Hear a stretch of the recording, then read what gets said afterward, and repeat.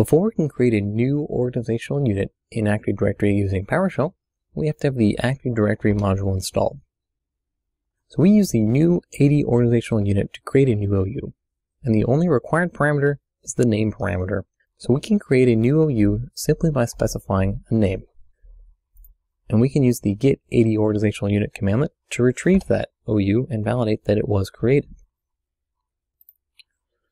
New AD organizational unit does support additional parameters as well. So if we wanted to specify the path, for instance, we can do that. So I've got some additional example parameters here that I'm going to splat and pass through the new AD organizational unit commandlet. And using the get AD organizational unit commandlet, we can validate that that OU was created and it was actually put in the OU that we wanted it. That is how you create a new organizational unit in Active Directory using PowerShell.